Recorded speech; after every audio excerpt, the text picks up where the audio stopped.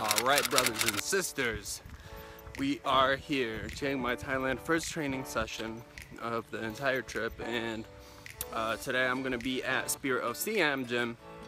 Here, it's kind of a private gym. It's rather could be hard to get to. There's no signs to get you there. There's no advertising and marketing, so you come down this uh, private road.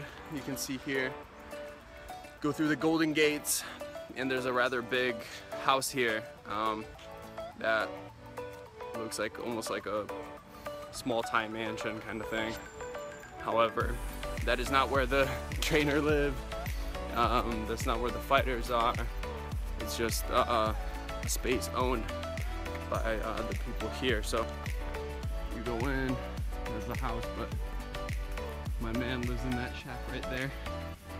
The owner and trainer of the gym. So we're stepping inside. Guys are getting right to cleaning.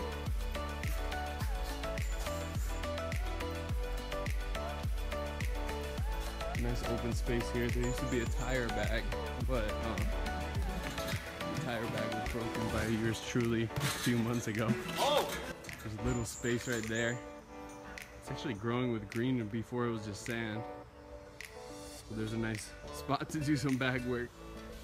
And heading inside the actual small gym again. Some strength and conditioning equipment, kettlebells, some heavy bags, probably weigh a ton.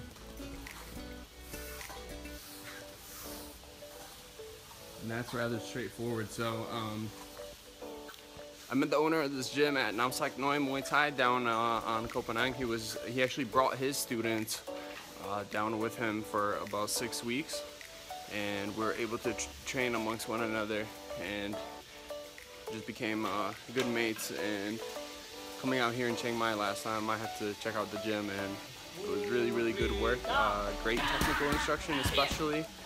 And then once we got working I was able to get about eight rounds of pad work every time I was here. So can't beat that. Can't beat eight rounds of pad work sparring technical instruction uh, clinching, strength and conditioning, things like that. So little private gym, little hidden gem here in Chiang Mai, Thailand.